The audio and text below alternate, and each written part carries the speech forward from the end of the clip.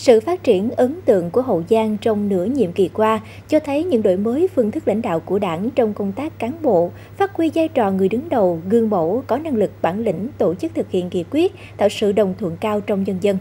Trong giai đoạn tới, tỉnh có 3 tuyến cao tốc đi qua dài hơn 133 cây số. Đây là lợi thế vượt trội cho sự phát triển. Trong 2 năm tới, quỹ bồi thường hỗ trợ tái định cư ở tỉnh Hậu Giang lên đến gần 5.000 tỷ đồng, lớn gấp 10 lần so với cách đây 18 năm.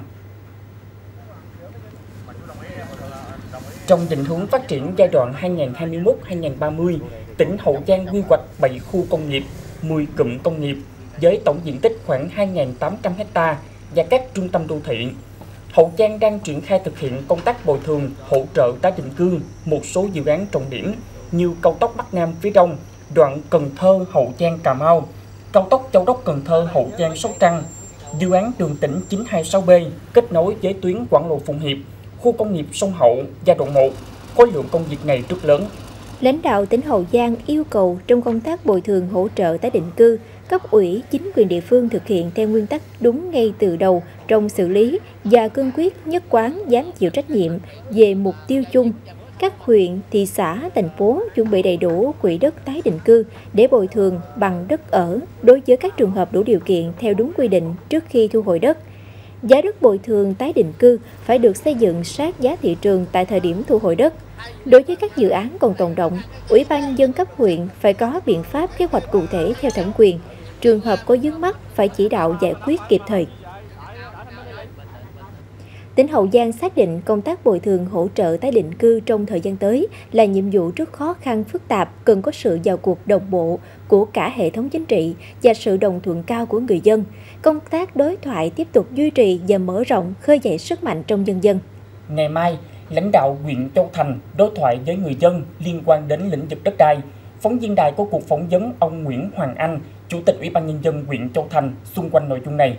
Mời quý vị cùng theo dõi. Thưa ông, huyện Châu Thành đối thoại lần thứ ba chuyên đề về đất đai. Huyện chọn nội dung này đưa vào kế hoạch đối thoại và cho buổi đối thoại này là gì ạ? Thì trong năm 2023 này đó, 8 tháng đầu năm thì huyện Châu Thành phải giải phóng là 14 cái dự án để mà tập trung đầu tư cho công nghiệp đô thị và hạ tầng giao thông với diện tích là hơn là 130 hecta và số hộ ảnh hưởng hơn 1.370 hộ. Như vậy thì với số lượng này thì ờ, trước hết là ảnh hưởng về chính sách về bồi thường hỗ trợ tái định cư cho người dân đó là một cái vấn đề. Vấn đề thứ hai đó thì à, quá trình thực hiện về chính sách đất đai này chúng tôi à, thấy rằng đó 21 thủ tục này là mang tính chất là kỹ thuật, là chuyên ngành, là nhạy cảm. Qua quá trình à, công tác thực hiện nhiệm vụ cũng như là lắng nghe ý kiến người dân, đặc biệt là chúng tôi là được biết rằng đó là khi tiếp xúc, đối thoại của người dân tại các buổi tiếp xúc cử tri.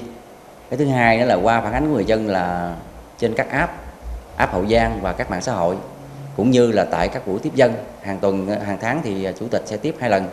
À, nhưng mà châu thành lại là có gái là thường xuyên tiếp. Do vậy thì chúng tôi thấy rằng nội dung này thì còn có nhiều vấn đề.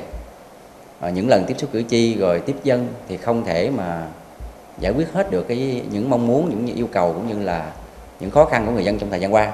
Do đó thì à, hàng năm là ban thường vụ huyện ủy đã chọn ngay từ đầu nhiệm kỳ là tổ chức là đối thoại chuyên ngành của người đứng đầu cấp ủy chính quyền về đối với nhân dân chuyên về lĩnh vực đất đai này. Khi mà mời người dân về là cái ngày đối thoại tới đây đó thì sẽ trả lời cho người dân. Trước hết là những cái lần tiếp xúc cử tri nè chưa trả lời thì phải trả lời dứt điểm cho người dân. Thứ hai là phản ánh qua cái mạng xã hội nè rồi à, qua app hậu giang nè. À, tại buổi đối thoại lần này thì sẽ giải quyết được những vấn đề gì? Và sắp tới đây thì huyện sẽ có những cái kế hoạch như thế nào để nâng chất hoạt động đối thoại à, trong thời gian tới ạ? Thì đối với chính sách thì chúng tôi sẽ chỉ đạo là giải quyết là theo thẩm quyền là tại buổi đối thoại còn trường hợp vượt thẩm quyền thì sẽ cứ kiến nghị về cơ quan có thẩm quyền để giải quyết theo cái thời hạn định.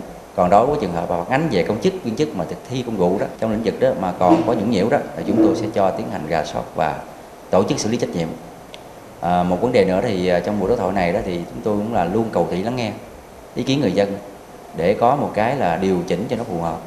Nhất là quan tâm chế độ chính sách cho người dân phải đầy đủ và cũng nghiêm minh đối với cán bộ mà làm sai, tuyên truyền được cái chính sách chủ trương của đảng và nhà nước đến người dân, để người dân có cái à, biết mà chấp hành cũng như là hỗ trợ chính quyền trong quá trình phát triển tế xã hội.